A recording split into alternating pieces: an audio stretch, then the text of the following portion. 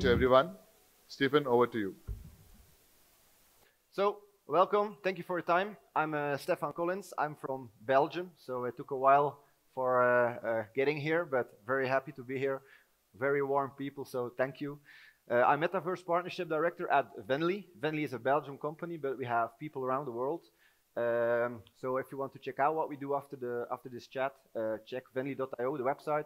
If you have any question or you want to follow me, you can always. It's my Twitter handle, so at Stefan Colins. If you have pictures or questions, shout, and I am happy to answer. So, and I'm I'm in control. Again, so at Venly, uh, it's not a Venly talk, just giving you a, a few more words, and then we go into the the real stuff. So I'm focusing on metaverse partnerships. So uh, I talked a lot of metaverses. For me, metaverse is gaming platforms, uh, 3D worlds. It's there's no one metaverse. There will be a lot of metaverses interconnecting stuff with each other. I'm also godfather of the Meta Ring. The Meta Ring as a service. We've created uh, one of the first interoperable NFTs because interoperability is an issue on the chain, but I will come back uh, to that later. Uh, and I'm also focusing on community strategy. As you know, as a game developer, having a big community is very important. It's it's the same in blockchain and even uh, more important that you are building on a community and and this is what I do for Venly and also for our uh, uh, partners and potential partners in the future. Uh, happy to share, uh, we did the Series A funding last week. Not last week, we worked on it for four months, but we raised over $23 million. Uh, and actually what we do, we help companies to enter the metaverse. And with the money we raised, we will scale up the team. We are with 40 people. At the end of the year, we will be with 100 people and helping uh, users and game studios uh, entering the metaverse. So we have two verticals where we're focusing on. First is e-commerce. We are official partner of Shopify. Maybe you know Shopify. Uh, if you want to sell an NFT in a normal e-commerce website, you can use our app, and we do all the minting stuff and all the all the other things. And we are also focusing on gaming. So our our um, go-to-market strategy is really supporting game studios, uh, onboarding users in a very easy way because it's it's very important. So now about the topic of the day, uh, bringing blockchain gaming to everyone. If you heard the channel, uh, the, the panel chat uh, earlier today, it's very, it's very important to have an easy way of onboarding people. So I'm just wondering, are there already companies or game studios that are building on the chain or owning NFTs or already did a, a mint of NFTs or?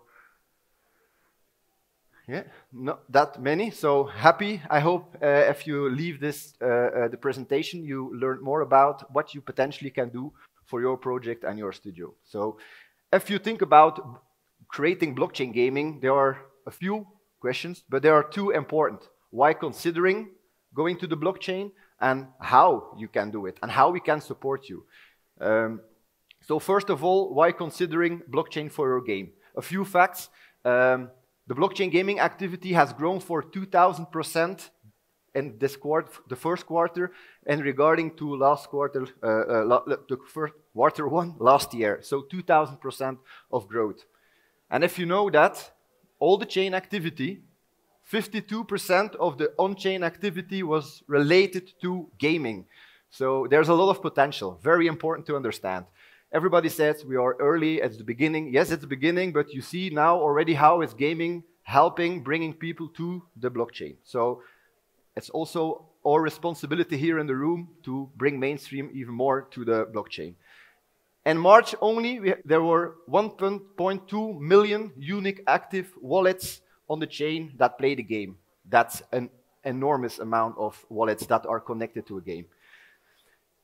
And if you check in Q1 this year, there was already 2.5 billion uh, dollar raised for game investments. And if you check last year, there was like 4 billion in entire year. Now in quarter one, we are already at 2.5 billion. So if we go and yeah, there's like an, uh, some issue in the, the visualization of the slide, but if you if we grow at the same pace till the end of the year, there will be like plus 150% more money raised this year. So this is very important. You can see it here, the 4 billion, and we are more than 50% uh, uh, proceeded. If you check then to the 10 billion, that is uh, uh,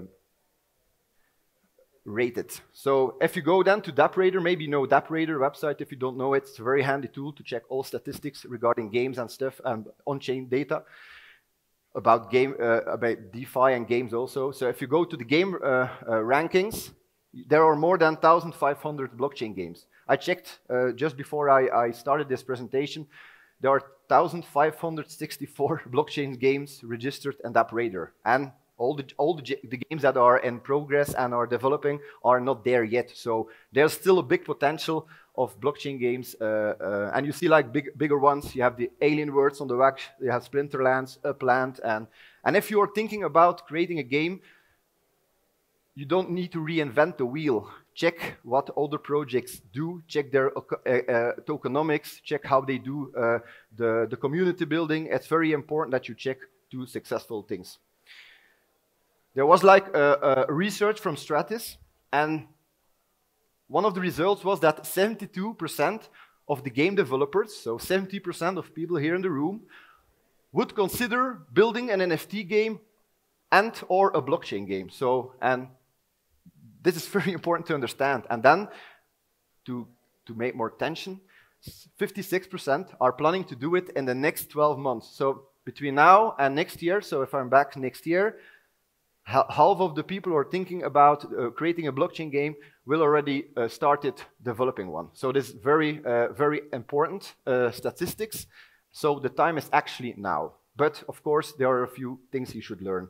Also interesting to know, from the conventional way of game development, you have to deal, you deal with game publishing uh, uh, and because they help you with marketing and stuff like that. But blockchain can help you as a game developer, as an indie studio, let revenue flow directly to you as a game developer. You know, so if you have a deal with, a, with a, a, publisher and they are important in the industry, but most of the times the deal are like 70-30. So 70 for the publisher, 30 for the, the game studios, maybe 60-40, but 50-50 is already aware, uh, a, a, rare uh, uh, statistic. So if you are thinking on bringing your game to the blockchain, it's another approach of talking to publishers. It can help you getting more revenue back from the game and it can help you building your own ecosystem. And at the end of the day, you put a lot of effort and passion in creating a game.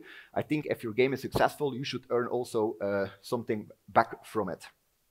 There are a lot of lot of opportunities. So, and you heard it in, in uh, earlier calls, uh, uh chats, and you will hear it later today also.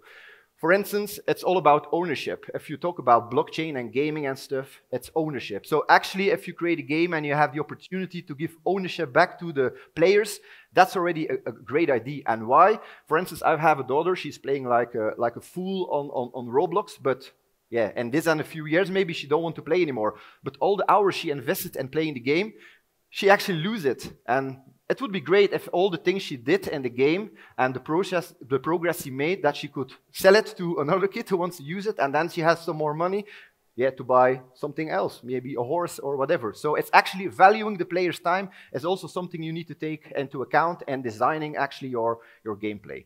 And I added it also because more and more we're talking about metaverses, we, we talk about our digital identity.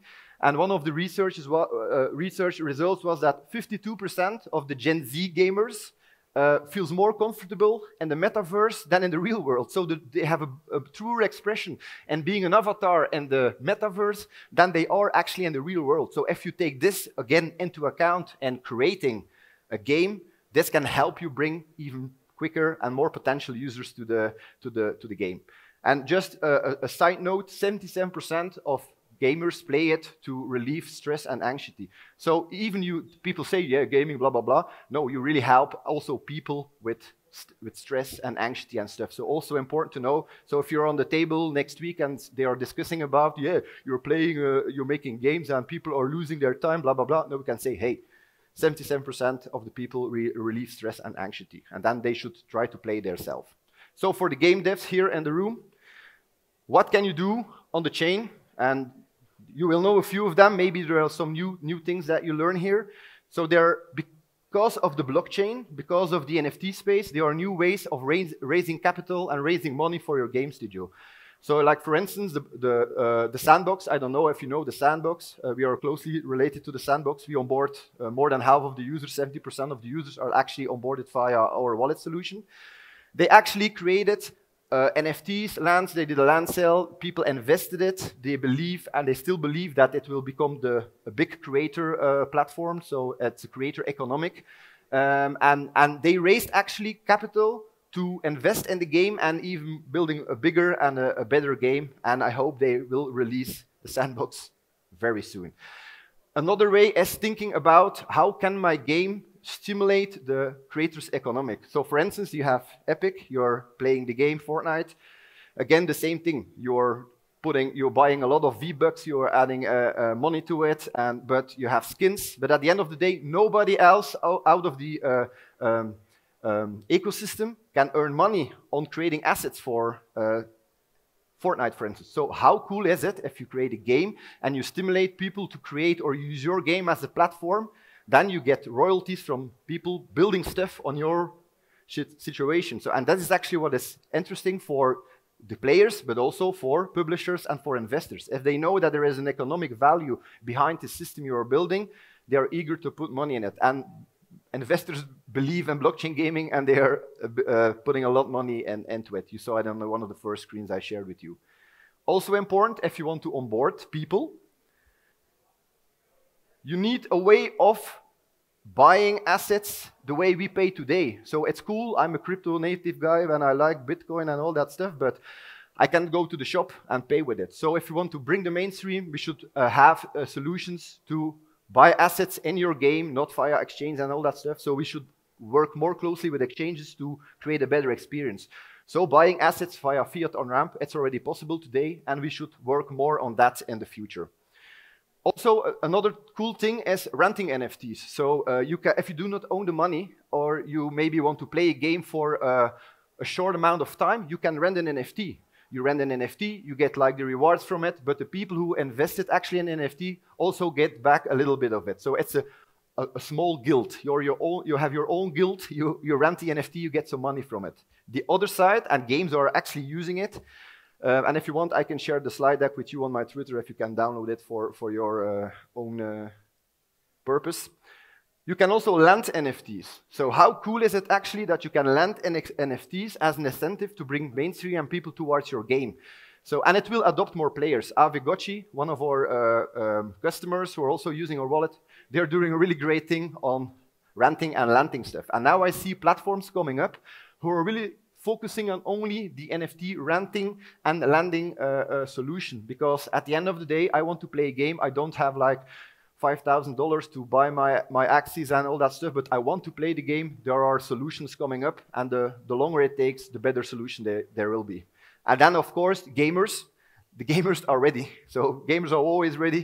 Gamers are ready for Web3. So we need to onboard them, of course, but they are ready. There are guilds doing a lot of great stuff like the scholarship thing, but now they are evolving into real service companies. Like investors now invest in guilds because they have big communities, and a community is very important to drive people towards your community. And also DAOs. I believe next year there will be a lot of more talks if there's a, a, a blockchain track about DAOs. DAOs is an important uh, uh, yeah, change in the blockchain, and, and I really believe that that is the way to go and, and the way we should uh, involve two graphs. Um, the first one is how does the game industry benefit from the, the blockchain? Like, I, I, am not going to, to read the slides here, but you see it again.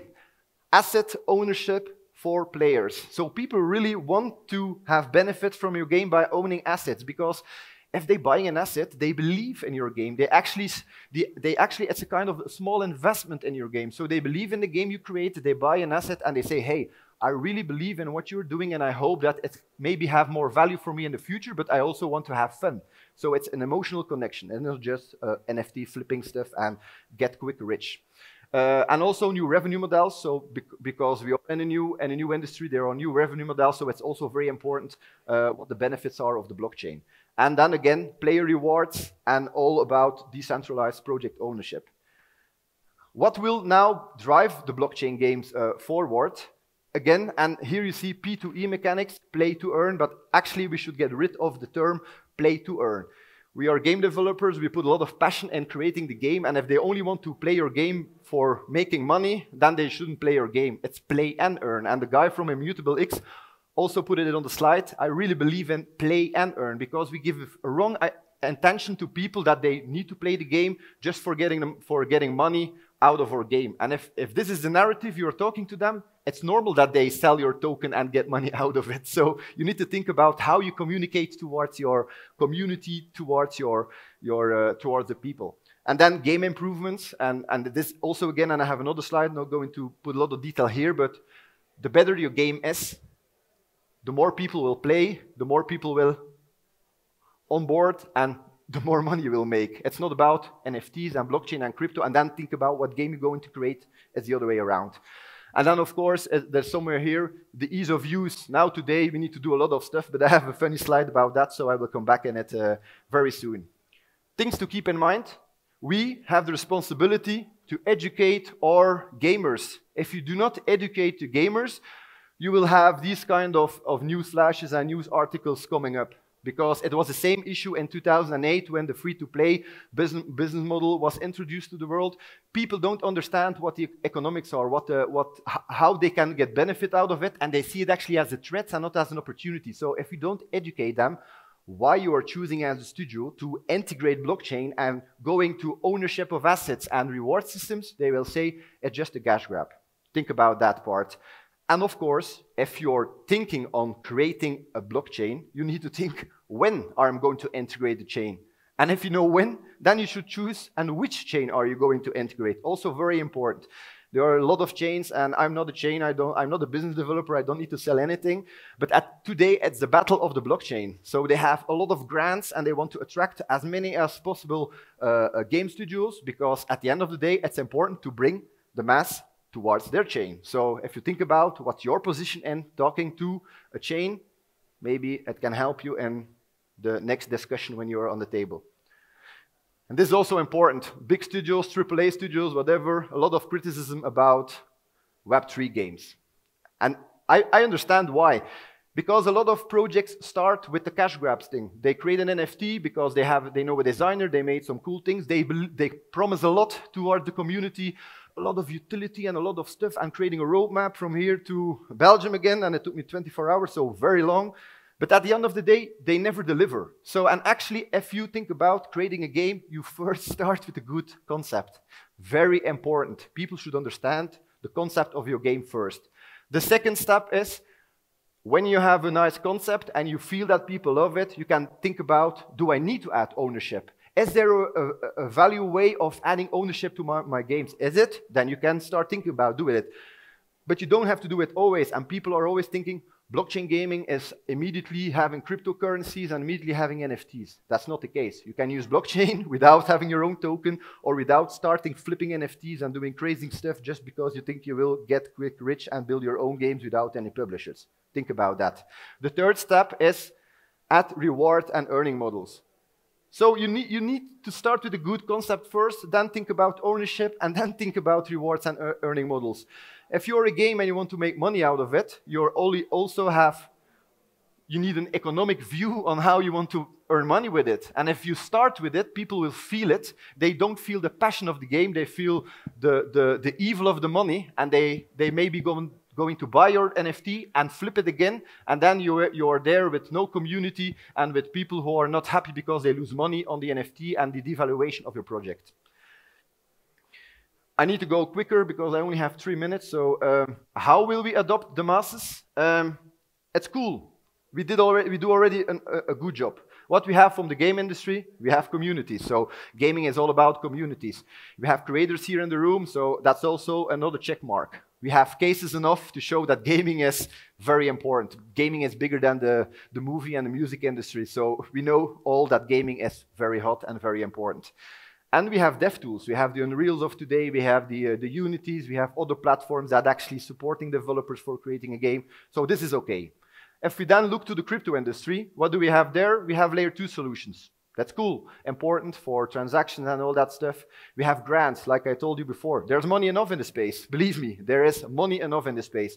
But you should come up with a nice concept, with a good idea, with a nice economics, and show the people what team is behind your project because investors more and more invest in teams and that's why you see web3 companies are now try to get the best of the web2 industry and the game studios into the web3 because then they can put like an, a well-known head and on their studio and they get money from from the investors it's because we invest in people and not only in IDs.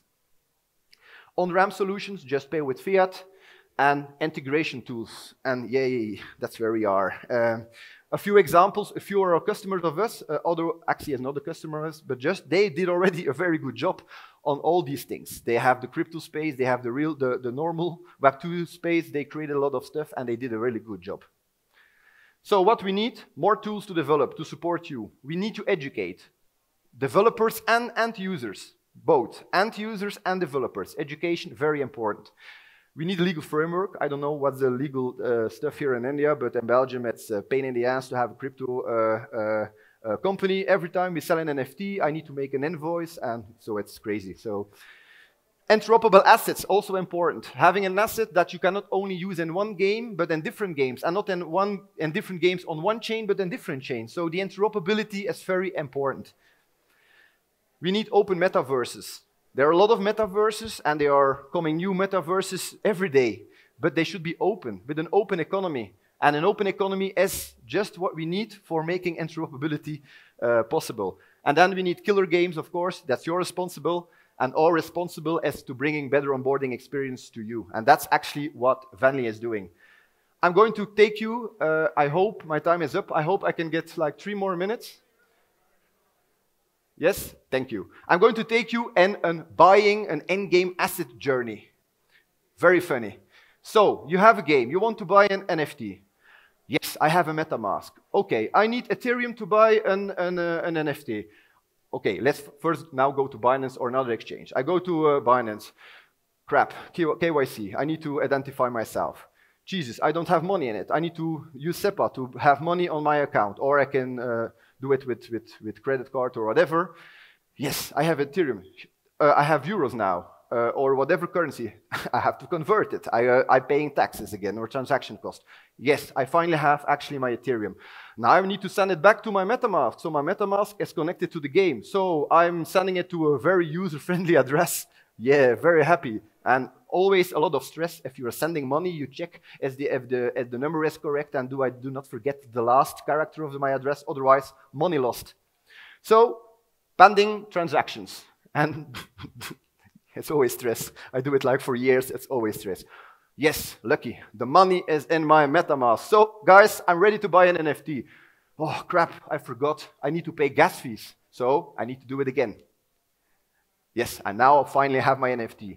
It took me like three years of my, of my life, and I lost transaction cost, and it took me like 20, 30, 40 minutes, and this is the first time it took me two days because the KYC can take up to one, one day or two days, so not user-friendly. What do we need? We need to onboard solutions to onboard actually the masses. So and at Venly, what we do, we onboard and we help game developers onboard people via Web2 stuff. So we bridge Web 2 and Web 3 on a very simple way. You connect, you create a, a, wallet via Google Connect, for instance, or for LinkedIn or whatever social connect you have. We create a wallet for you. It's directly on the chain that the project is connected to. You can add via on-ramp uh, tokens to it. it's your NFT. As easy as simple. If you know the sandbox, you go to the sandbox. They, they reloaded it, but reloaded it. If you connect accounts via the sandbox, this is us. This is Venly we have more than 1 million users already onboarded for the sandbox. So it's very important. And what, what is Venly? You have the consumers, the game developers, you have the blockchain, we are in the layer between. So we actually provide all the tools you need as a game development studio to focus on the game. We help you going to the blockchain. We have all solutions, all APIs, all tools uh, ready for you to speed up your process and to win time, a lot of time and money. So you build the deal is, you build the killer games, and we help you with all the tools. So we are blockchain agnostic, very important. We are blockchain agnostic. We have 12 blockchains that we support, five for NFTs.